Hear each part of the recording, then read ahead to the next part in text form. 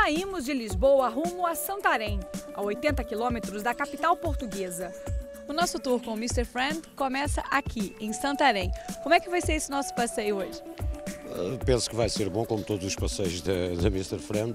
Uh, Santarém é uma cidade muito bonita, muito antiga, é conhecida como a capital do Gótico. Uh, está enquadrada numa província magnífica que é o Ribatejo, uma gastronomia excelente, bons vinhos, florestas, inclusive praias fluviais, enfim, é uma zona muito, muito interessante. Na parte propriamente que vamos fazer agora, de Santarém, uh, Santarém, como disse, é conhecida como a capital do gótico, tem umas igrejas magníficas, uns conventos magníficos e, obviamente, o castelo, o castelo velho e as suas muralhas e as suas, e as suas torres. E agora nós vamos conhecer os jardins das Portas do Sol, não é isso? Vamos então das Portas do Sol.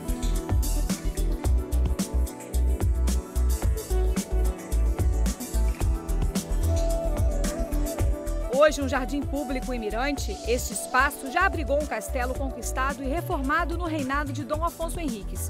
Ainda se pode ver as muralhas e algumas ruínas desta época.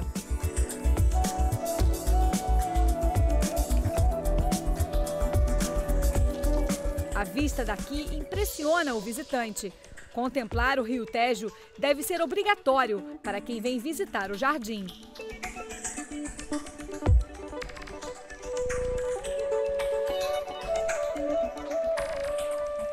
Bem pertinho dali está a Porta de Santiago, um dos percursos em Portugal de peregrinos que seguem até a Espanha o caminho de Santiago.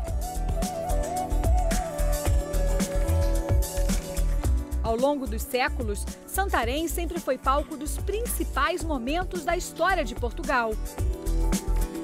Santarém é uma cidade, está situada num ponto estratégico e no cruzamento de várias linhas e além disso fica junto de um rio, o Rio Tejo, que uh, tinha um estuário importantíssimo até ao século XIX. Uma das uh, características mais evidentes ao turista que visita Santarém é a carga monumental que a cidade tem. Isso explica-se porque a partir de, de, do século XII uh, Santarém foi sendo povoada por uma série de ordens religiosas europeias, é? algumas delas eh, que vieram eh, para Portugal, eh, para a então recém-nação portuguesa, para ajudar na conquista do Afonso Henriques e aqui permaneceram. Portanto, e aqui foram construindo os seus mosteiros. E quais seriam os pontos uh, mais interessantes para quem vem visitar Santarém? Bom, Santarém tem muitos pontos interessantes. Uh, para, os brasileiros, por exemplo, tem a particularidade de, uh, numa das igrejas, estar enterrado precisamente Pedro Álvares Cabral, o digamos, descobridor do Brasil, que curiosamente tinha uma ligação familiar muito forte a Santarém, através da sua mulher. A, mulher. a sua mulher era uma das, das figuras proeminentes eh, da sociedade escalavitana e ele eh, escolheu precisamente Santarém para eh, passar os últimos anos da sua vida e aqui morreu. Depois de visitar o centro histórico de Santarém, hora de saborearmos um dos pratos mais típicos desta região, a sopa da pedra. Em Almerim, paramos para almoçar no tradicional restaurante O Toucinho, que desde 1962, com a avó Mariana, ganhou fama internacional. É mais uma lenda, como todas as terras têm, uma lenda portuguesa. Esta sopa terá sido inventada por um padre, por um padre, perdão, por um frade, aliás, habilidoso, esperto, que se valia da, da, da curiosidade das pessoas e pedia-lhes uma pedra apenas para e um pouco de água para fazer uma sopinha. As pessoas achavam curioso como é que se fazia uma sopa só com uma pedra. E ele, eu vou-vos mostrar. Então, então metia a pedra com água, ia pedindo, dê-me um fiozinho de azeite, dê-me uma batata, dê-me um bocadinho de chouriço e tal, e fez uma sopa maravilhosa. Enfim, esta é a lenda. O que é facto é que isto é um prato absolutamente delicioso e que todos os portugueses não dispensam quando passam por esta zona. E olha, não é brincadeira não, eles colocam mesmo uma pedra dentro da sopa, é, é tradição. Você come a sopa e lá no fundo encontra uma pedra.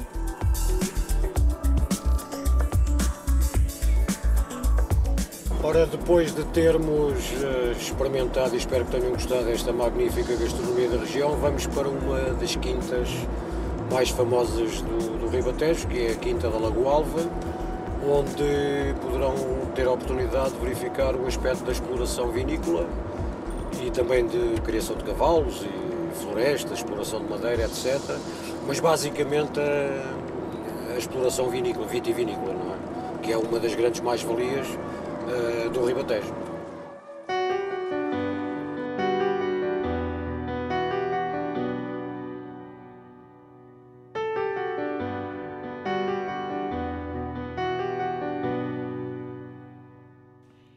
História, natureza, vinhos, tradição.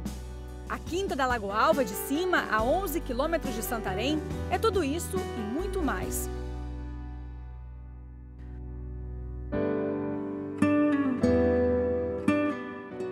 Lagoa Alva tem muitos séculos de história, não é isso, Tiago? Tem, sim, senhora.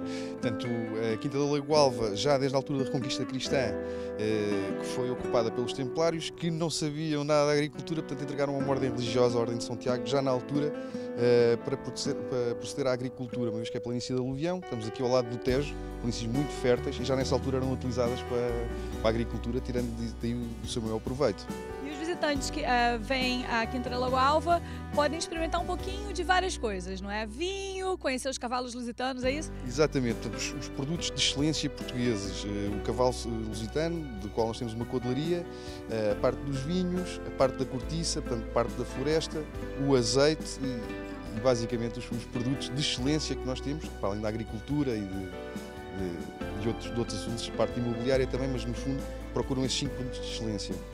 E nós vamos conhecer agora, portanto, os cavalos lusitanos. Exatamente, vamos dar uma voltinha pela codelaria, ver os nossos cavalos, alguns fazem parte da atrelagem e, e os outros estão a ser postos para montar e para, para se vender, portanto, o principal objetivo é fazer negócio. Então vamos lá. Vamos lá.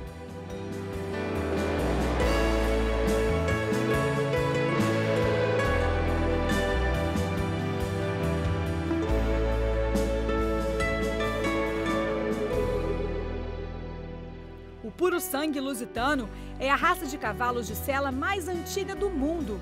Com origem em Portugal, esses cavalos já eram montados há mais de 5 mil anos. Hoje são cada vez mais procurados e são uma grande atração na Quinta.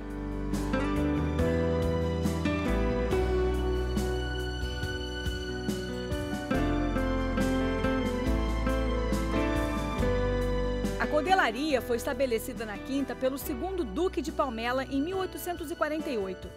Fazemos uma visita à atrelagem, onde estão cavalos que já representaram Portugal em três campeonatos do mundo. Os cavalos aqui são destinados ao ensino, atrelagem de competição e ao lazer. Ulisses é o mais velho do grupo.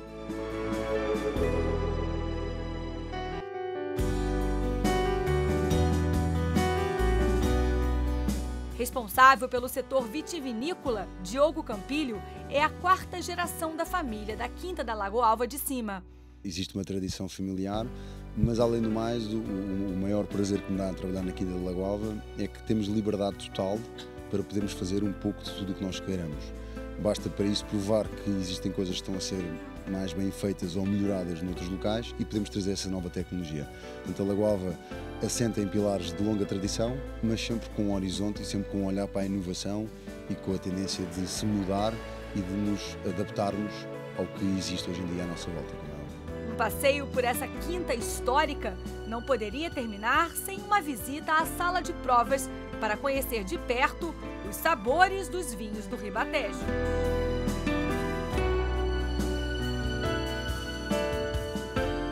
E assim termina o nosso tour com o Mr. Friend. Mas na próxima semana tem mais.